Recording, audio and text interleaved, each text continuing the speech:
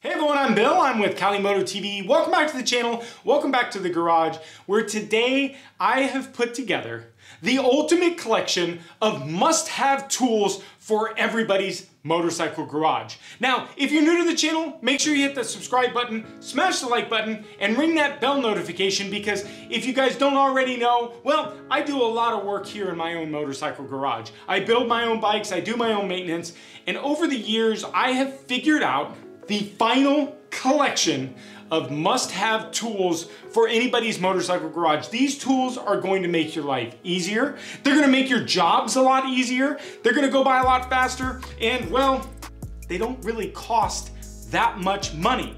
So without further ado, let's walk through step by step the top five must-have tools for your motorcycle garage. Number five, all right, so I'm not gonna go any specific order. Uh, basically, I'm gonna start with the newest toy that I've gotten, but I've got the five out here. But the newest one that I've got, and for you guys that are uh, familiar with the channel, you know I've been looking for a new torque wrench. And uh, I found this guy, and uh, it was very intriguing because I'm, I was looking for something that I can do uh, foot pounds and inch pounds, also Newton meters, but also I was looking for inch pounds for quarter inch stuff. So what's nice about this unit is it's got a half inch ratchet on the end, okay? You can use any half inch ratchet or you can even use a breaker bar if you really need to go up to the max 150 pound feet of torque on this thing. So it's very, very nice. So once you get this thing on and you get this thing fired up, so we've got, uh, you know, a zero. It's real nice because if you look down here, you can hit the units and you can switch from Newton meters to inch pounds to foot pounds. And then you can also go into uh, a different setting where you can actually have presets. So you can have a preset of number one, which we've got preset at 15 pound feet of uh, torque. So we're gonna start with this one. So let's go ahead into here and what we're gonna do is uh, just for just demonstration purposes, we've got our Ducati wheel uh, adapter here. And we're gonna go over to the front of the Ducati and we're gonna mount this thing on here. And right at the top, you're gonna notice that the thing is already starting to work. So here's one of the things that's really nice about this is it gives you guys, as you get closer to your torque setting, it starts to give you the beeps and the lights. And once we hit 15, it gives us a steady beep. And then that's it, you're all set. So obviously, for all intensive demonstration purposes, we're just, um, that would be more like 60 pound feet of torque, but um, very, very cool. It's, you know, kind of big, but realistically, it's it's very very nice. So um, so far, I've really really liked this this torque adapter, and it's very nice. It's got a backlit to it, so it's got a little light to it. Push and hold, turns it off. So very, very cool. If you guys don't want to invest in multiple torque wrenches that gives you quarter inch, three eighths, half inch, pound feet, inch pounds, Newton meters, this thing does it all. Number four. All right, so I found these a couple years ago and boy, have they just been a lifesaver.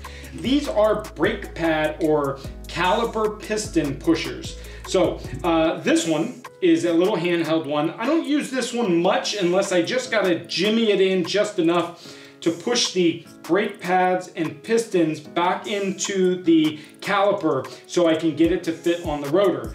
Um, I usually, don't, again, don't use this much because I don't want to mar it up, but it gives me just enough room to get in there and squeeze them back. But whenever I'm doing a set of brakes, this is number one tool I pull out.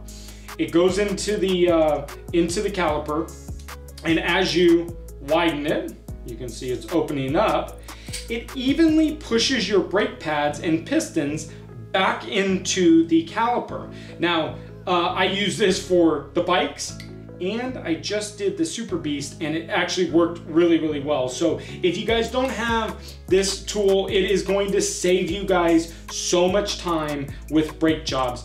please get this tool. Number three. Now, I've always used a basic, just a tube and a catch can for a bleeder.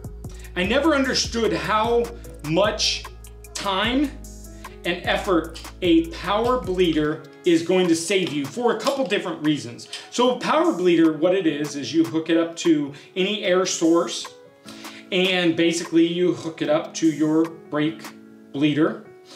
Crack that brake, brake bleeder open and pull this trigger and it is a one-way valve that is going to suck your brake fluid out of your pistons and bleed all of the air out without letting any air back into the system.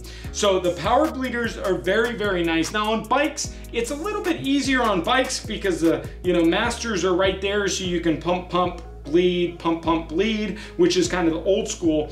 But when you're doing like your cars or your trucks, these power bleeders are very, very nice. Now, they second as an additional little tool and that is you can actually pull this little end off, which I do quite often, and I can actually put this into, say, your Brake Master uh, reservoir, and you can actually suck out all of your fluid, any fluid. If you guys look kind of close, you can see it's a little red right now. Well, that's because I took out uh, a pint of uh, fluid out of the uh, Corvair and sucked it right out of the transmission. So you can see I just took out a quart to put a little uh, uh, additive in there. So power bleeders, very, very nice, very, very handy. You're gonna love having this in your collection here in the Motorcycle Garage.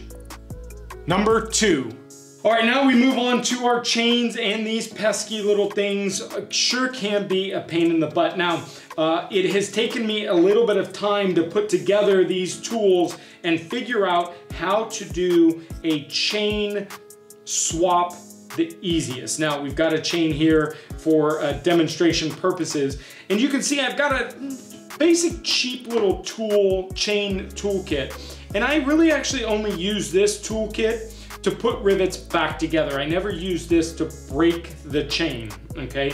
Because the likeliness is uh, it's gonna be very hard. So this isn't the tool necessarily that you're going to wanna have, but if you are doing a lot of chain swaps, a nice tool kit, uh, a chain kit is nice. But this little guy, oh, this has been an absolute lifesaver. Now, what this is, is it's got a little claw there on the bottom that is actually going to crimp onto your chain, okay? And once you've got it crimped onto the chain, let's see if I can get a little bit lower.